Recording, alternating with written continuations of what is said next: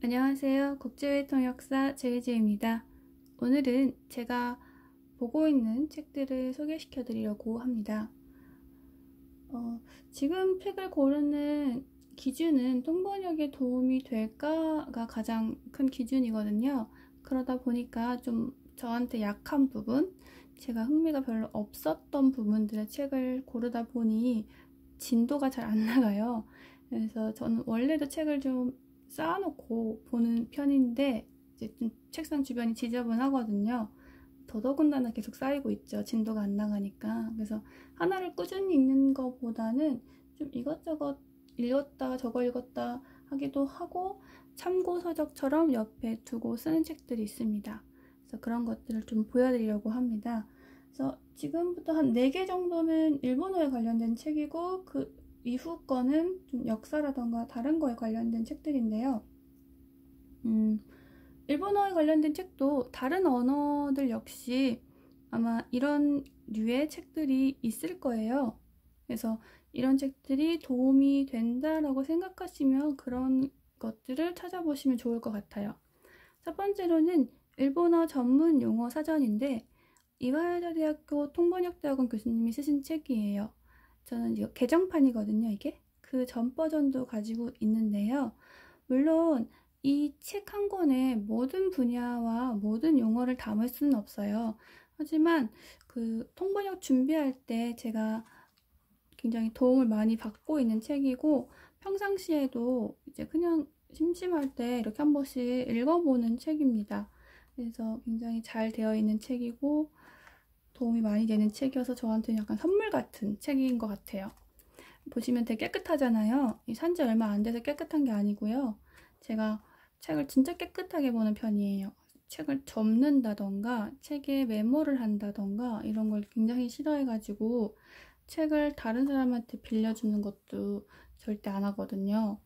깨끗하게 보는 편이고요. 이 책은 꼭 통번역하지 않으시는 분들이라도 일본어를 전문적으로 공부하고 싶다 하시는 분이라면 하나 가지고 계시면 굉장히 도움이 많이 되는 책이라고 생각합니다.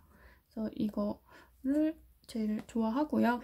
그 다음에는 좀 창피한데 사자성어나 속담 되게 옛날 거예요. 어, 속담과 사자성어는 통번역을 하다 보면 특히 통역 같은 경우에는 개회사, 만찬사, 환영사, 폐회사, 뭐 화, 축사 이럴 때 한 구절씩은 꼭 들어가잖아요. 그런데 본인에게 그 속담에 대한 예문 같은 것들이 많이 없으시면 통역할 때 당황스럽거든요. 그리고 속담과 사자성어를 쓴다는 건 함축해서 이야기한다는 얘긴데 그거를 자기가 가지고 있는 예문이 없어서 풀어서 통역을 한다고 하는 건 사실은 좋은 선택지는 아닌 것 같아요. 그러니까 정말 그거에 해당되는 속담이 없다, 또 내가 지금 생각이 안 난다 하면 그렇게라도 하는 게 맞지만, 그래도 속담은 속담으로 통역을 해주시는 게 맞다고 생각을 하기 때문에 많이 좀 예문을 평상시에 가지고 있는 게 좋지 않을까? 라는 생각을 합니다. 그래서 심심할 때 한 번씩 이렇게 열어보고요. 사실은 이거는 예전에 산 거고 약간 기초? 초보들이 보는 책들이잖아요.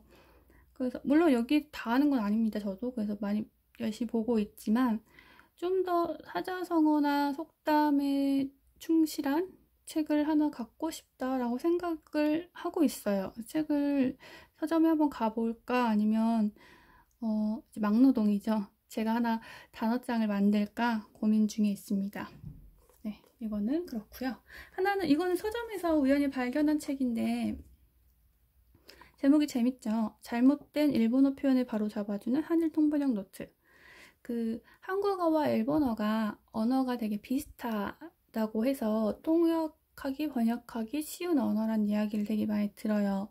뭐 아예 틀린 이야기는 아니지만 비슷한 언어기 때문에 단점도 있어요. 그게 직역을 아무 생각 없이 하게 되면 자칫 잘못된 뜻으로 전달이 되거나 어, 오해를 불러일으키거나 오역을 할 수 있거든요. 근데 그거를 캐치하기가 또 어려운 경우도 있어요. 그래서 이거는 그런 부분들에 대해, 대해서 많이 논하고 있거든요. 보시면 아시겠지만 전직 NHK 기자신가 봐요. 쓰신 분이. 그래서 이거를 보시면 일본어로 표, 다 써있잖아요. 저는 이거를 공부한다는 생각보다는 그냥 책 읽듯이 소설 읽듯이 그냥 읽어요. 읽는데 저는 소리 내서 읽어요. 그리고 그걸 녹음해요. 제가 그냥 읽을 때는 발음, 억양, 액센트가 틀린 것 같지 않은데 녹음해서 들어보면 잘못 발음하고 있고 잘못된 억양인 경우가 많더라고요. 그래서 소리내서 읽고 녹음하고 다시 확인하고 이런 과정을 요거 이 책을 가지고 하고 있습니다. 제가 건너 건너 듣기로는 이분이 굉장히 글을 잘 쓰시는 분이라고 하시더라고요. 그래서 그렇게 글을 잘 쓰시는 분을 책을 읽을 때는 이 안에 표기법이라던가 어, 단어 선택이라던가 이런 것들도 좀 주의 깊게 보는 편이에요. 번역할 때 그런 것들이 되게 많이 필요로 하잖아요. 하지만 인터넷상의 정보들은 또 인터넷상에 글 쓰는 것들 정답은 아니고 인터넷에는 잘못된 정보도 굉장히 많기 때문에 좋은 글을 쓰시는 분, 글을 잘 쓰시는 분의 책을 읽을 때는 좀 표기법에도 유의해서 보는 편입니다. 이거는 아주 재밌게 잘 보고 있어요. 내용 자체도 학교에서 배웠던 이, 내용들도 있고요. 이렇게 통번역하시면 안 돼요. 라고 가르쳐 주셨던 부분들도 있고 평상시 의문시 생각했던 부분들도 있기 때문에 굉장히 재밌어요. 이 책. 그리고 하나는 좀 음, 기초적인 책이에요. 일본어 액센트 나는데 어, 제가 학생들을 가르치고 있잖아요. 음, 그러다 보니까 그 친구들은 이제 막 일본어를 시작했기 때문에 아주 기초적인 일본어를 공부하거든요. 근데 제가 일본어를 공부한 지 오래됐다고 해서 그냥 아무 준비 없이 가서 가르칠 수는 없, 없잖아요. 제가 잘못된 거를 쭉 오랫동안 알고 있을 수도 있고 그 사이에 뭔가 바뀐 게 있을 수도 있으니까 공부를 많이 해가는데 그러면서 좋은 점은 더더욱 공부가 많이 되더라고요. 저의 기초를 다시 다질 수 있는 계기가 되더라고요. 이 악센트도 그거랑 마찬가지인데 지금 제가 가르치는 분 중에 한 분이 커뮤니케이션이 굉장히 중요한 일을 하고 계세요. 그래서 액센트와 억양을 처음부터 같이 좀 공부를 하고 있거든요. 이 책을 사서 같이 하려고 했는데 이게 절판이 됐어요. 그래서 구하기가 지금은 힘들어서 이 책을 바탕으로 제가 자료를 따로 만들어서 드리고 있습니다. NHK 악센트 사전도 가지고 있긴 한데요. 그건 단어 위주로 되어 있거든요. 근데 이 책이 좋았던 건 그 일본어가 동사나 이형용사, 나형용사 뭐 이런 명사도 변형이 되면서 액센트가 바뀌잖아요. 그런 것도 여기에 다 표현이 표기가 되어 있기 때문에 도움이 진짜 많이 되고 있고요. 다시 한번 저의 기초를 다지는 데도 이렇게 시간을 가질 수 있게 되었습니다. 이거는 자료를 만들 때 많이 참고하고 있어요. 음, 일본어 관련된 건 여기까지인 것 같고요. 다음에는 역사인데요. 별 대단한 건 아니죠. 완전 수능 한국사예요. 왜냐하면 제가 역사 통역을 한 적은 없어요. 영토나 한일 문제에 관련해서 역사 이야기를 다룬 적은 있는데 역사가 주 테마인 적은 없었거든요. 그래서 전체적인 역사를 공부한 적은 통역을 위해서 한 적은 없는데 이거는 밥통 때문에 시작했어요. 식사할 때 그때까지도 이 이야기를 하시는 분들은 사실 많지 않으세요. 식사 시간에는 침묵 도모의 개념으로 서로 일상적인 이야기들을 하시거나 취미에 관련된 이야기들을 하시거든요. 근데 제가 오랫동안 같이 일하는 클라이언트 분 중에 한 분이 역사를 좋아하세요. 일본 분이신데 역사 관련된 이야기도 많이 하시고 근데 제가 모르면 통역하기가 너무 어렵더라고요. 역사는. 그래서 요거를 공부하기 시작했고 수능 한국사를 한 거는 가장 베이스 많은 이야기를 다루면서 베이스고 그러니까 가장 기초가 되는 부분이기도 하고 음, 해서 요거를 보는데 안에 보시면 깜짝 놀랄 정도로 되게 단순, 단촐하게 되어 있습니다. 일부러 이런 걸 고른 건 제가 이거를 그냥 이제 공부한다는 개념으로 보고 있진 않고요. 문장 구역을 하거든요. 눈으로 한국어 보면서 그러니까 일본어로 소리내서 통역을 하는데 막히는 부분은 옆에 컴퓨터를 두고 그 단어장을 만들고 있어요. 역사 카테고리로 단어장을 만들고 있습니다. 그래서 문장 구역 하면서 단어장 만드는 거. 이거 아예 마음 잡고 단어장을 만들려고 하고 있는 건 아니고요. 뭐 수업 준비를 하거나 다른 이제 번역 일을 하거나 이렇게 하다가 좀 다른 거 하고 싶을 때 있잖아요. 지루할 때. 어, 그럴 때 이거 꺼내서 문장 구역 하면서 단어장 만들고 있습니다. 네. 어려운 책은 아니죠. 음. 그 다음에는 경제책인데 이건 아직 안 읽었어요. 지금 읽고 있는 책 소설책이 하나 있는데 그거 읽으면 조금 남았거든요. 다 읽으면 이거 하려고 읽어보려고 샀는데 산 지는 좀 됐어요. 되게 반전이 있는 책이잖아요. 보시면 엄청 두꺼워요. 그죠? 600페이지 넘는데 되게 두꺼운데 딱 표지를 보면 되게 읽고 싶게 생겼잖아요. 아닌가요? 두께 두께를 보면 읽고 싶지 않은데 표지를 보면 되게 읽고 싶게 생겨서 이 책을 골랐거든요. 경제는 분야가 너무 다양하고 제가 문과에서 그런지 모르겠지만 그리고 숫자에 엄청 약하거든요. 그래서 그런지 모르겠지만 저한테는 어려운 분야예요. 뭐 금리 환율이라고 써있지만 이런 부분도 있고 재무제표도 봐야 되고 여러 가지 분야가 다양하다 보니까 어려운데 재무제표는 그래도 다행히 이제 클라이언트 분 중에 한 분이 이제 본인 회사의 재무제표를 가끔 메일로 보내주시면서 이제 어떤 이렇게 분석을 한번 해보라고 공부를 시켜주시는 분이 계세요. 그래가지고 다행히 그렇게 공부를 하고 있는데 금리나 환율에서는 특히 금리는 그렇게 많이 다뤄본 적은 없는데 환율은 진짜 얘기가 많이 나와요. 어떤 분야를 가든 그 수출입에 관련된 이야기를 하다 보면 당연히 환율 얘기가 나오고 환율 얘기에서는 제가 개념이 제대로 잡혀 있지 않으면 반대로 통역을 할 수도 있기 때문에 굉장히 조심해야 되는 부분이잖아요. 또 돈이 왔다 갔다 하는 부분이기도 하고. 그래서 좀 베이스를 제대로 잡, 다시 한번 잡아보자는 생각으로 어, 이책 골랐고, 안에 보시면 내용에 비해서 그 뭔가 딱 열었을 때 숨막히게 써있지 않잖아요. 빽빽하게 써있으면 숨막히는데. 그래서 이 책을 골랐어요. 제가 이 전공자가 아니니까 어떤 책이 좋은지 이런 걸 선택하는 것도 굉장히 어렵더라고요. 그래서 저는 좀 잘 모르는 책을 고를 때는 읽고 싶어지는 책? 내용도 내용이지만 디자인적으로 손이 많이 가야 된다고 생각해요. 처음부터 딱 책에 압도돼서 읽고 싶지 않다고 느끼면 안 열어보게 되는 것 같아서 좀 그런 위주로 처음에는 고르고 있습니다. 이건 아직 안 읽어가지고 좋은지 안 좋은지는 잘 모르겠어요. 근데 읽어보고 괜찮으면 다시 말씀을 드릴게요. 그 다음 이제 제가 블록체인이랑 IT 통역을 진짜 많이 해요. 저는 거의 대부분 그쪽이 많은 것 같아요. 근데 그런 거 지금 책이 참 단촐하죠. 왜냐하면 그 블록체인 같은 경우에 특히나 회사마다 가지고 있는 블록체인 기술이 조금씩 다르고 그걸 설명하는 방식도 조금씩 달라요. 그래서 그러니까 클라이언트 분들이 주시는 자료를 위주로 공부를 많이 하고 있고요.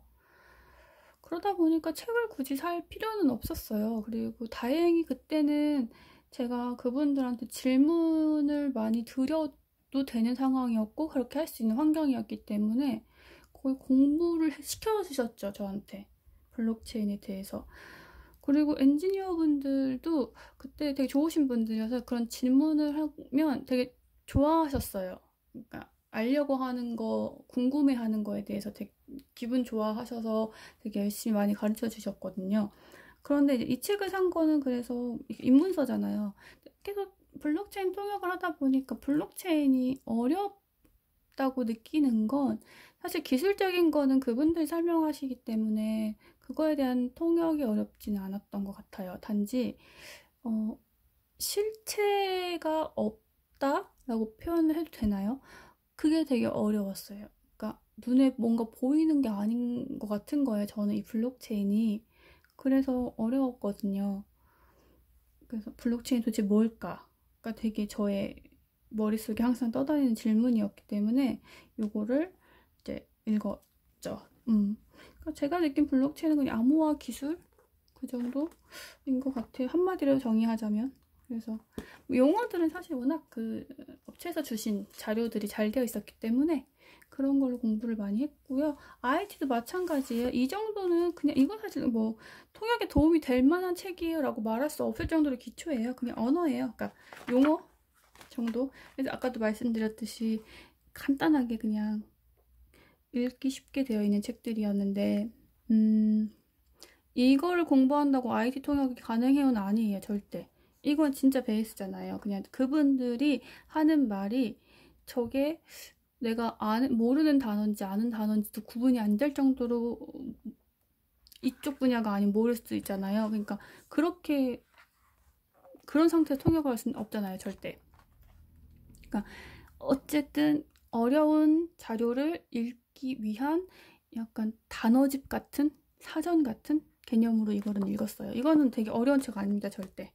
이거는 그냥 프로그래밍 그러니까 언어 같은 거예요. 이거는 클라이언트께서 주신 책인데 인문 비트코인과 블록체인인데 음, 본인이 일본에서 오실 때 비행기에서 심심할까봐 사신 책이래요. 공항에서. 다 읽었다고 가실 때 지고 가셨어요. 이런 책을 받으면 기분이 좋아요. 그러니까 책 고르는 게 어렵다고 말씀드렸잖아요. 어떤 게 좋은 책인지 모르겠다. 그러다 보니까 골라주신 책은 뭔가 괜찮다고 생각하셔서 주신 거니까 저는 이런 거 받으면 되게 감사하더라고요. 그래서 이거 잘 보고 있습니다. 그 다음에 이거는 진짜 학생 때문에 알게 된 책이에요. 제가 지금 학교에서 가르친 학생 중에 한 명이 의예과인데요. 어, 저한테 질문을 하나 한 게 있어요. 그래서 그런 걸 찾아보다가 알게 된 책이고 이게 한국의 의사분들이 뭐 의사분들이 그 일본의 의사 면허를 딸 수가 있는 제도가 있더라고요. 근데 그거 공부하실 때 보는 책이래요. 그래서 안에 뭐 질병에 관한 얘기도 있고 문진에 관한 이야기들도 있어요. 제가 지금 병원에서 통번역을 하거든요. 진료 분야도 어렵 많고 문진 내용도 다 다르기 때문에 어려운 부분들이 있는데 제가 가장 어렵다라고 느낀 건 사실은 문진이었어요.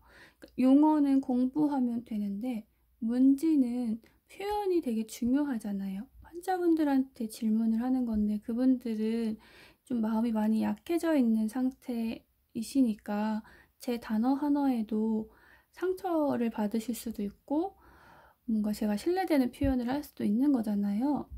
어, 때로는 이 병을 부르는 이름조차도 차별 용어가 될 때가 있단 말이에요. 그런 건 많이 아시겠지만, 그죠? 그래서 어떤 표현이 정확한 표현인지 또 상대방의 기분을 상하지 않게 표현할 수 있는지 그런 거에 대한 고민이 굉장히 많을 때 알게 된 책이어서 좀 감사하죠. 이 책을 알게 돼서. 그건 제가 지금 가장 많이 고민되는 부분이었거든요. 통역할 때. 그래서 이거 보고 있습니다. 음, 좋아요. 의사 선생님들도 보신다고 할 정도니까 굉장히 좋은 책인 것 같죠? 그죠? 음, 제가 그것까지 판단하기는 좀 어렵지만 음, 그 다음에 이거 법률 용어 사전 제가 계약서 번역을 진짜 많이 하거든요. 근데 처음에는 한국 변호사분이 쓴 계약서 다섯 개 일본 변호사분이 쓴 계약서 다섯 개 이렇게 쭉 펼쳐놓고 같은 내용을 번역한 계약서가 아니어서 내용이 같진 않았어요. 근데 조문 내용 같은 거 이제 보고 좀 정리를 했죠. 이런 표현을 쓰는구나. 이런 식으로 이런 단어들을 쓰는구나. 왜냐하면 제가 그때 계약서 번역할 때 일본 변호사분한테 전화를 진짜 많이 드려서 많이 질문을 했었거든요. 근데 똑같은 말이지만 이 단어를 쓰면 법적 효력이 없고 이 단어를 써야 법적 효력이 발생한다. 이런 것들도 있더라고요. 그러다 보니까 굉장히 물론 모든 똥번역이 긴장되고 어렵지만 계약서는 긴장이 더 돼요. 법적인 걸 다투는 거니까. 그래서 항상 긴장했고 그때 질문도 진짜 많이 드렸어요. 뭐 이거는 그냥 법률 용어 사전이어가지고 뭐 그렇잖아요. 저희가 통번역을 하시는 분들은 많이 아시지만 저희 분야가 아니신 분들이 많이 하는 오해 중에 하나가 저희는 용어만 알면 되지. 그럼 통역할 수 있는 거 아닌가? 번역할 수 있는 거 아닌가? 라고 생각하시잖아요. 근데 저희는 내용을 이해를 못하면 통번역 못한다는 거 다 아시죠? 그러다 보니까 그냥 이거 쭉 읽고 있어요. 어떤 이런 내용의 법이구나 이런 이런 흐름이 있구나 이런 배경이 있구나 이런 것들을 그냥 읽고 있어요. 제가 이거를 어디 통번역할 때 쓸 일은 그렇게 많이 없을 것 같아요. 제 생각에는 제가 어디 재판 법정에서 통역할 일은 저는 없을 것 같거든요. 그러니까 회사에서 물론 법적인 이야기를 할 수는 있지만 그 법정 통역을 할 일은 그렇게 많을 것 같지 않나요?